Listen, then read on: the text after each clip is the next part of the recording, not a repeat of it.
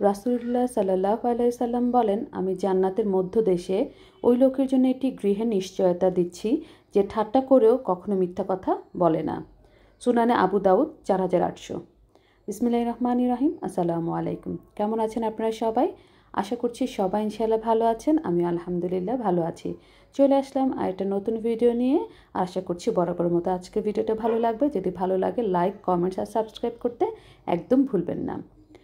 কথায় আছে, অধিক ভালোবাসা কাছে টানে না, শুধু দূরেও ঠেলে দেয় বা গাছেও তোলে। আমার বিড়ালের এখন এই একই অবস্থা। ও তো যেহেতু বাসায় থাকে, গাছে উঠতে পারে না। বাসার সবার অধিক ভালোবাসার চাপের চোটে ও এখন আলমারির উপর উঠে ঘুমাচ্ছে। আর ও যখন ঘুমাচ্ছে, তখন ভাবলাম, ঝটপট করে আমি আমার এই কাজটা শেষ করে নিই। কারণ ও জেগে থাকলে এখানে এসে অনেক দুষ্টুমি করবে, এটার ভেতরে বসে থাকবে, দেখা যাবে আধা ঘণ্টার কাজ আমার এক ঘণ্টা লেগে গেছে। যেহেতু ঘুমিয়ে আছে, তাই ভাবলাম আজকে আমি আমার জুতার সেলফটা একটু পরিষ্কার করে ফেলি।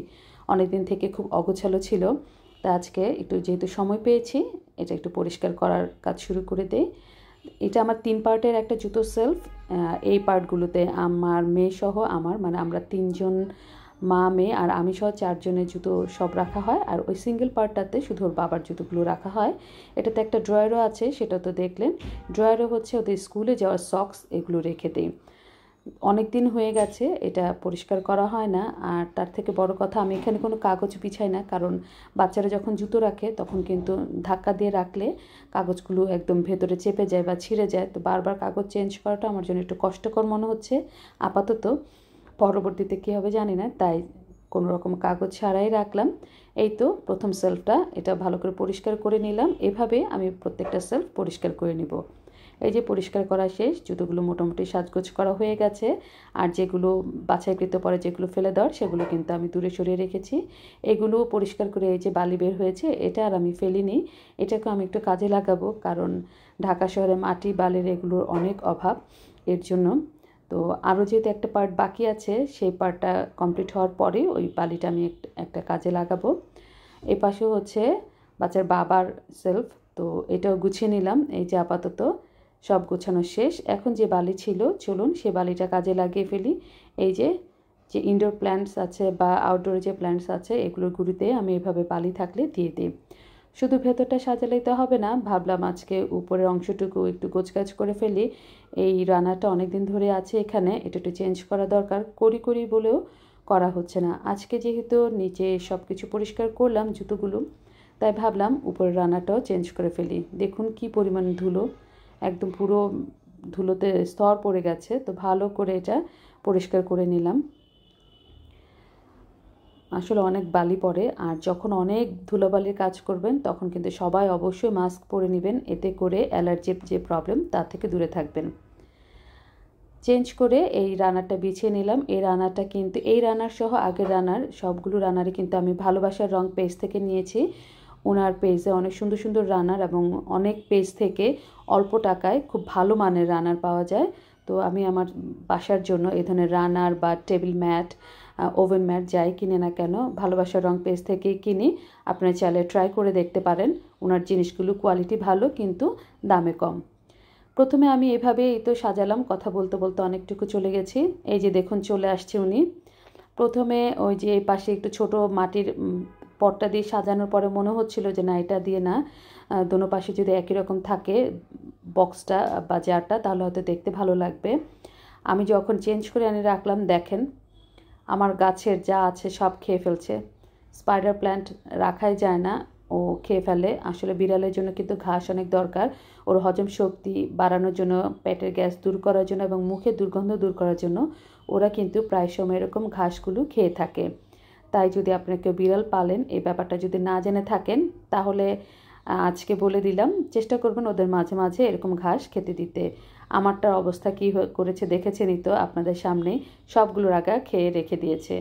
আর আমি একটু ভিডিও করতে চাচ্ছি, বারবার বলছি, এখান থেকে সরো, এখান থেকে সরো, কিন্তু সে তো কথাই শুনবে না, যে কোনো নতুন জিনিস তার চোখে যদি পড়ে, এটা দিয়ে যতক্ষণ পর্যন্ত ইনভেস্টিগেশন করা যায়, ও করে, এরপরে আমরা সেটা সুযোগ পাই। এই দেখুন, আবার শুরু করে দিয়েছে। এভাবেই ওর চলতে থাকে, বন্ধ করা যায় না যে কোনো জিনিস। তো একটু পরেই দেখলাম ও যেন কি দেখেছে, তো নড়ে যাচ্ছে, তো ভাবলাম, যাক, ভালোই হয়েছে, চলে যাবে। কিন্তু না, সে কিন্তু এদিক ওদিক দিয়ে ওখানে বসে চিপায় যেন কি দেখছে।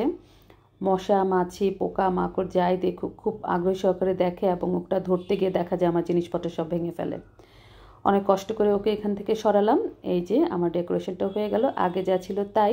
শুধু ওপাশে এরকম একটা জারের ভেতরে আমি স্পাইডার প্ল্যান্ট আর মানি প্ল্যান্টসটা রেখে দিলাম। যাতে দুই পাশে জারগুলো দেখতে একরকম লাগে। ট্রান্সপারেন্ট সব কিছু এখানে রাখার চেষ্টা করেছি। কেমন লাগল অবশ্যই জানাতে ভুলবেন না। এতটুকু সাজিয়ে কিন্তু মন ভরেনি। পরে মনে হলো আচ্ছা ঠিক আছে, চেষ্টা করি এটাকে আরেকটু ভিন্নতা দেওয়ার জন্য। তো যেই কথা, সেই কাজ ভিন্নতা দেওয়ার জন্য কিন্তু এই যে ফেরি লাইটস যেগুলো আছে, এগুলো দিয়ে দিলাম। এগুলো জ্বললে কিন্তু আসলে দেখতে ভালো লাগে, ঘরের পরিবেশটা একটু অন্যরকম লাগে। আর এই গোলাপ ফুলের ফেরি লাইটসটা আমার কাছে খুবই ভালো লাগে, এর জন্য এটাই ব্যবহার করলাম। আর এটা যেহেতু বাহিরেই ছিল, তাই এটাই ব্যবহার করলাম। আসলে বক্স থেকে এগুলো বের করে আবার রাখাটা এটা অনেক কষ্ট লাগে। এর আগে কয়েকটা ছিল, কিন্তু আমাদের লুলটু সব ছিঁড়ে ফেলেছে। আর এর জন্য এগুলো সহজে বের করে রাখি না। এগুলোতে অ্যাটাক করে। যখন এটা লাগাচ্ছিলাম, তখনও কিন্তু এসে অ্যাটাক করেছিল। এরপর ওকে কোনো রকম দূরে ঠেলে দিয়ে একটু ডেকোরেশনের জন্য আপনাদের সাথে একটু শেয়ার করার জন্য এরকম করলাম। কেমন লাগছে বলুন তো? মনে হচ্ছে না? ঈদ ঈদ, আনন্দ আনন্দ। আমার কাছে কিন্তু তাই মনে হচ্ছে। ঘরে যে কোনো জিনিস একটু চেঞ্জ করে সাজালে, একটু লাইটিংয়ের ব্যবস্থা করলে দেখতে কিন্তু আসলে অনেক ভালো লাগে। আমার কাছে তো ভালো লাগে, তাই নিজের রুচি, নিজের ইচ্ছা, নিজের পছন্দকে একটু পরিবর্তন করার জন্য আমি প্রায় সময় এরকম করে থাকি। আপনারা একটু ট্রাই করে দেখতে পারেন ইনশাল্লাহ ভালোই লাগবে। এই যে দেখুন, চলে আসছে কিন্তু গোয়েন্দা, এই যে অনেকক্ষণ ওকে ছাড়া ভিডিও করতে পেরেছিলাম। এখন কিন্তু বলছে, নানু, অনেকক্ষণ হয়ে গেছে, তোমাকে সুযোগ দিয়েছি, এবার আমার পালা, দাও, আমি বাকি সবগুলো শুকিয়ে নিই। বলেছিলাম যে এখানে ছোট ঝাড়ওয়ালা যে গাছটা, সিঙ্গোনিয়াম বলে মনে হয় এটাকে, এই গাছটা রাখব। তো এই গাছটা রেখেছি, আর বড় গাছটা তো টিভি স্ট্যান্ডের পাশে রেখেই দিয়েছি, ওটা তো এর আগেও দেখলেন। তো এই ছিল আজকে আমার সাজগোজ। আমার সাজগোজটা কেমন লাগল জানাতে একদম ভুলবেন না। আপনাদের ভালো লাগা, মন্দ লাগা জানালে আমি আমার ভিডিও আর ইমপ্রুভ করতে মোটিভেশন পাবো। কারণ আপনাদের একটা কমেন্ট শুধু কমেন্টস না, পরবর্তী ভিডিও বানানোর জন্য আগ্রহ দেয় আমাকে। আর আমার ভিডিওর কোথায় ভুল আছে বা আর কীভাবে আমি আমার ভিডিওটাকে সুন্দর করতে পারব, এগুলো কিন্তু আমি আপনাদের কমেন্টসের মাধ্যমে জানতে পারি।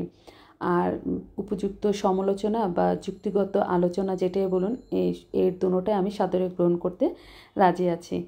তো আজকের ভিডিওটা আর বড় না করে জানাবেন কেমন লাগল। আর এখানে বিদায় নিয়ে নিই। সবাই ভালো থাকবেন, সুস্থ থাকবেন, নিরাপদে থাকবেন। আমাদের জন্য দোয়া করবেন, আল্লাহর উপরে ভরসা রাখবেন।